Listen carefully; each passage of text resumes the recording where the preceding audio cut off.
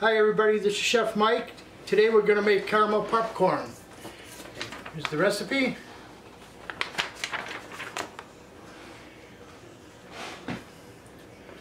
So first thing we start with is we're going to start with our popcorn. You need four quarts, basically two packages of microwave popcorn. We're going to take that, put it in the preheated oven, 250 degrees. And from there we're going to start with the making the caramel. Half a cup of butter, one stick, one cup of brown sugar, teaspoon of salt, and one cup of, of corn syrup. You can use light or dark, just different color popcorn. I use the light. We're going to put it all in the pot and we're going to bring it to a boil. You want to stir at this point and keep stirring it until it comes to the boil.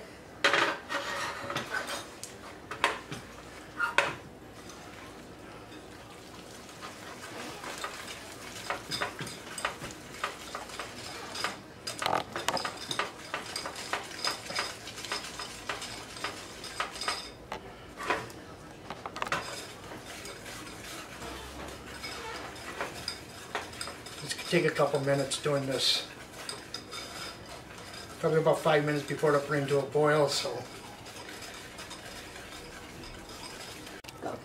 Okay, so it just came to a boil.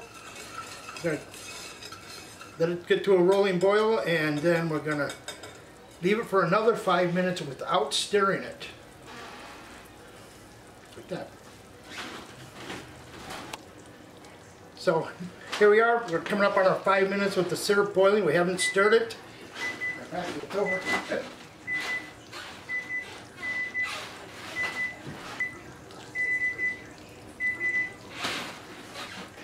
So you take it off the heat. We're going to add our vanilla and our baking soda. Stir it in.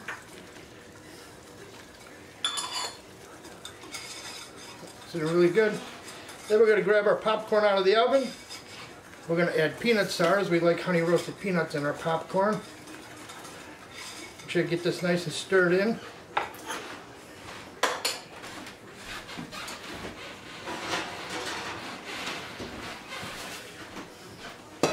It's the time to add your peanuts if you're going to add them.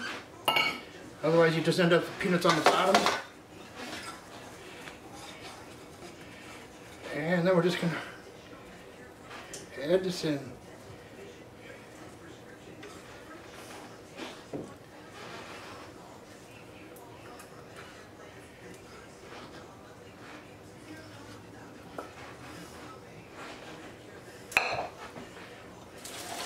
Toss around a little bit. And then we're actually going to throw this back in the oven for 45 minutes. You're going to want to stir it about every 15 minutes to help coat the rest of the popcorn. They'll dry it out and set the candy. So, see you in a little bit. Timer.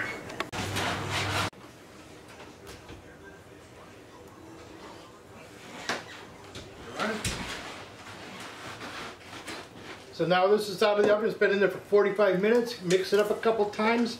I'm just going to dump it out on the wax paper. And we're going to want to let it cool. Warning, one of smaller pieces, now's the time to break it up. Because once it cools down, it's going to be hard. So, sure, when it's completely cooled, you want to store it in airtight bag. It'll keep longer.